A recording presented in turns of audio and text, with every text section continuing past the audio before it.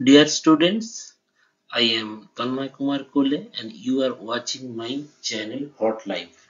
आज मैं आप लोगों के साथ मैं गोड कल्टीवेशन के बारे में कुछ डिस्कस करेंगे पहले आज चार गोड क्रॉप्स को मैं सिलेक्ट किया हूँ एक है पॉइंटेड गोड जिसको परवल बोलते हैं और एक है बिटर गोड जिसको करेला बोलते हैं और राइट साइड में ये बोटल गोड, जिसको हम कद्दू, लौकी अलग अलग नाम से जाना जाता है। और बीच में है स्पॉन्ज गोड, जिसको आपको धूधूल कहीं नेनुआ अलग अलग नाम से जाना जाता है। अगर ये चारों क्रॉप से डिफरेंट क्वेश्चन आता है तो मोस्टली पूछते हैं what is their chromosome number देखिए इंटरेस्टिंग चीज़ क्या है, जितना परवल है बिटर गोड है और बटल गोड है. There X is equal to eleven and so 2n is equal to 2x so it is, their diploid chromosome number is 22 और डेनुआ के केस में ये डिप्लॉयड क्रोमोसोम नंबर है 26 कुछ वेजिटेबल्स छोड़ के most of the cucurbits seed से प्रोपागेटेड होता है. और इसका सीड रेट होता है तीन से छह किलो के बीच में हेक्टर प्रति। पॉइंटेड कोड के केस में ये सीड प्रोड्यूस करते हैं बट वो जो सीड से जब पौधा निकलते हैं, वो 50-50 परसेंट मेल और फीमेल होता है। और वो पौधा जब लगा देंगे, उसको फ्रूटिंग होने तक इसको समय लग जाए तीन साल। For that reason pointed gourd कभी सीड से कॉमर्शियली प्रोपागेशन नहीं करते। जनरली स्टेम कटिंग और रूट सकर से इसका कॉमर्शियल प्रोपागेशन होता है, जिसका सीड मटेरियल जो रेट होता है 2000 से 2500 पीस प्रति हेक्टर नाउ ये बाएँ देख रहे हैं रूट सकर और दाएँ देख रहे हैं, आपको स्टेम कटिंग ये इनिशियल स्टेज में मेल फीमेल को पता करना बहुत मुश्किल होता है। जो ट्रेडर मेल प्रैक्टिस करते हैं, वो ज़्यादा मेल का पार्ट दे देते हैं, वो बाद में जाके कॉमर्शियली प्रोडक्शन में दिक्कत होता है। बट जेन्युइन सप्लायर क्या करते हैं, एक सर्टेन परसेंटेज ऑफ़ मेल रख के उसको सेल करते हैं। Remember for pointed gourd at least ten is to one ratio में फीमेल और मेल का अनुपात रहना चाहिए बेटर फ्रूट सेट के लिए। अभी आते हैं, इसका ग्रोइंग सीज़न क्या है? इसका मोस्टली रबी एंड खारिफ दोनों सीज़न में ही होता है। जब रबी के केस में होता है, कोई भी क्यूकर बीट्स फेब्रुआरी और जनवरी में सोइंग होता है और खारिफ में जून जुलाई में सोइंग होता है। बट पॉइंटेड गोड के केस में जब मैं आपलैंड में इसका खेती करेंगे, तब अगस्त टू अक्टूबर में लगा देते हैं और ये शुरुआत भी छोटा ग्रोथ होके नेक्स्ट विंटर में डुआर्फ होके रहते हैं। Then after winter is over during the month of February ये रैपिड ग्रो करते हैं और मार्च ऑनवर्ड फ्रूटिंग देते हैं। जनरली जहाँ रिवर के किनारे में पॉइंटेड गुड उगता है, वहाँ इसको एनुअल क्रॉप की तरह कल्टीवेट किया जाता है। इसको अगस्त के पहले में जितना ईल्ड होता है, उतना लेके फिर वो एरिया सबमर्ज हो जाता है। बट जहाँ आबलैंड होता है, ये पेरिनियल क्रॉप की तरह कल्टीवेट होता है। हर साल विंटर में ये क्रॉप डॉर्मेंसी में चला जाता है। एंड आफ्टर दैट जब अगेन समर आता है, इसमें प्रोफ्यूज फ्रूटिंग होता है। बहुत सारा वेराइटीज है क्यूकर बीट्स में। आप यहाँ बटोलगढ़ के केस में देख सकते हैं, जो काशी गंगा काशी कुंडल काशी कीर्ति बहुत सारा वेराइटी है। सिमिलरली पॉइंटेड कोड के केस में some of the cultivate India का गवर्नमेंट सेक्टर में अवेलेबल है। ऑब्जेक्टिव क्वेश्चन के लिए जो लोग तैयारी कर रहे हैं रिमेम्बर स्वर्णो रेखा स्वर्णो अलौकी ये दो पॉइंटेड गुड का वेराइटी है, ये बहुत ज़्यादा क्वेश्चन में पूछा जाता है। ये दो variety ICR research complex for eastern region का जो रीजियनल सेंटर है रांची में, वहीं से डेवलप हुआ। ये राइट साइड में आप देख सकते हैं, स्वर्णो अलौकी का फ्रूट्स है। और राजेंद्र एग्रीकल्चर यूनिवर्सिटी जी आरपीसीयू जो बिहार में है they also develop two variety IIVR से तीन वेराइटी डेवलप हुआ, काशी अमूल्य, काशी सुफल, काशी अलंकार। बीटर गोड के केस में काशी उर्वशी बहुत अच्छा है। ये छोड़ के स्पॉन्ज गोड में बहुत सारा वेराइटी डेवलप हुआ। काशी रक्षिता, काशी श्रेया, काशी दिब्बा और काशी सोमिया नाम से एक नया वेराइटी जो एफ़ वन है। सिमिलरली पूसा सुप्रिया, पूसा चिकनी, पूसा स्नेहा, इसका इंपॉर्टेंट वेराइटी है। आई आई एच से दो वेराइटी है, अर्को सुमित, अर्को विक्रम। अभी रिसेंटली 2020 के में एक अच्छा वेराइटी है यहाँ। पंजाब निखार, जो स्पॉन्ज बोर्ड का वेराइटी है।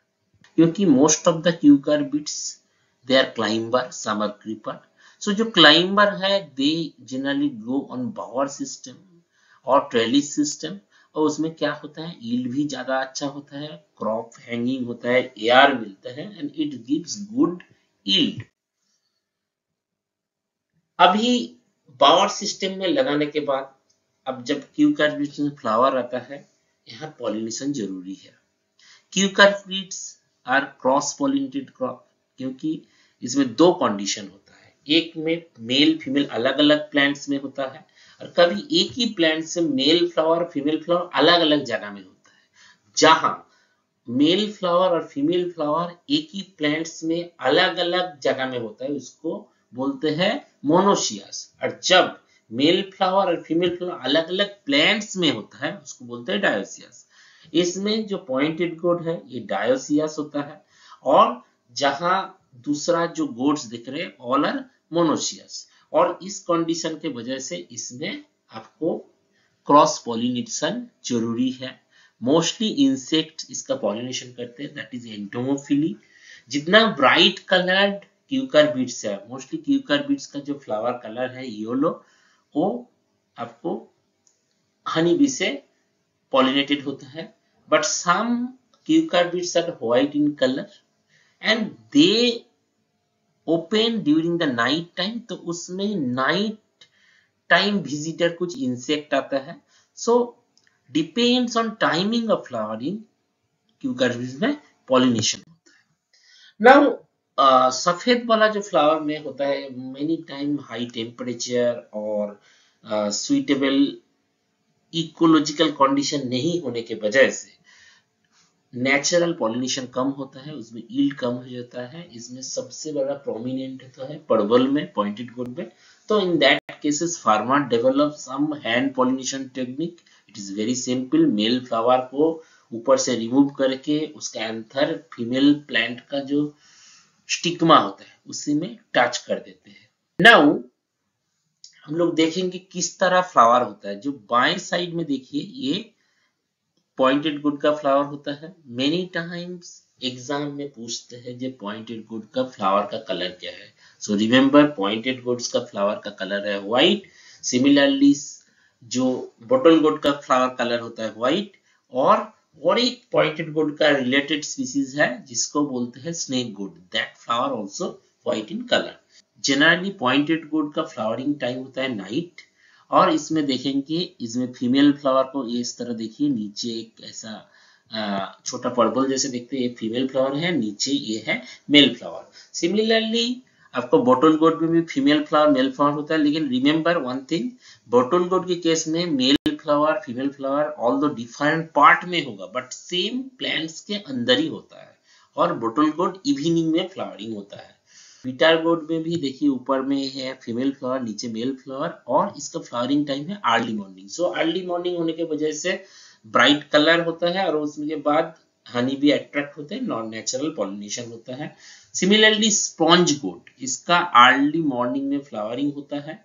और female flower and male flower आप यहाँ देख रहे हैं। Remember one thing the Luffa cylindrica that is scientific name जो आपको स्पॉन्ज गोड का होता है। स्पॉन्ज गोड सुबह फ्लावरिंग होता है और जब ridge gourd there is one species that is Luffa acutangula similar crop है, थोड़ा सा देखने में अलग है बट इसका फ्लावरिंग टाइम इवनिंग में है।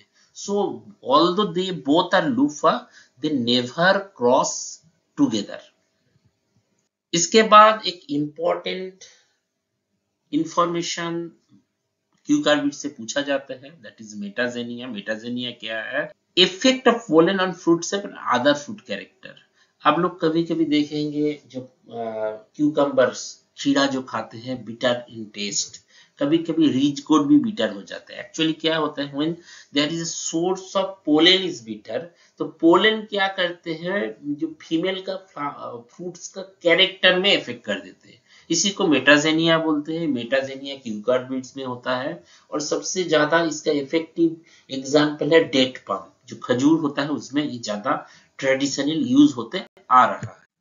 क्यूकार्बिट्स में मोस्ट इंपॉर्टेंट एस्पेक्ट है maturity indices most of the cucurbits immature stage में करते हैं एक्सेप्ट वाटरमेलन मास्क मेलन जो राइप स्टेज में खाते हैं अदर क्यूकार्बिट्स इमेच्योर स्टेज में वेजिटेबल्स के रूप से खाते हैं। नाउ इमेच्योर और मैच्योरिटी कैसे जज करेंगे? मोस्ट ऑफ़ द केसेस आपको देखना होगा जो फ्लावर रेमनेंट जैसे पॉइंटेड कोड के केस में नीचे वाला जो फ्लावर रेमनेंट ये ड्राई हो जाना चाहिए। और साथ में एक स्पिंडल शेप्ड एक प्रॉपर शेप आएगा। और इंपॉर्टेंट एस्पेक्ट है पॉइंटेड कोड का इसका सीड विथ मैच्योरिटी टफ हो जाता है तो बहुत ज़्यादा टफ सीड भी लोग पसंद नहीं करते हैं, वो भी ध्यान देना चाहिए। बटुल गोट के केस में नेल टेस्ट करते हैं, नाखून अगर आराम से फ्रूट में एंटी करते हैं नेल अगर एंटी कर जाते हैं then it is very soft and is for suitable for consumption और इसके मैच्योरिटी में क्या होता है, जो फ्रूट सरफेस में छोटा छोटा हेयरी ग्रोथ होता है, वो फॉल कर जाते हैं। और टफ हो जाता है and not suitable for consumption और स्पॉन्ज कोट के केस में सडन एक लाइट कलर चेंज होता है तो डार्क कलर से लाइट कलर आ जाते हैं. और बिटर गुड के केस में जो इसका ऊपर में हल्का हल्का जो स्पाइनी ग्रोथ होता है, वो स्मूथ होता है but it not always true for all variety कुछ स्मूथ वेराइटी भी होता है. So overall cucurbits non climacteric होता है एक्सेप्ट दो एक फ्रूट्स जो क्लाइमेटिक ग्रोथ देते हैं, जैसे वाटरमेलन मास्क मेलन तो फ्रेंड्स कैसा लगा आज का ये क्लास आई थिंक आपको अच्छा लगा होगा। अगर अच्छा लगेंगे तो ज़रूर एक लाइक कर दीजिए कमेंट कर दीजिए और इंतज़ार करते रहिए मेरा नेक्स्ट वीडियो जो अदर एस्पेक्ट्स जो इसमें छूट गया, वो मैं डिटेल्स आप लोगों के साथ सामने लाएँगे। Thank you very much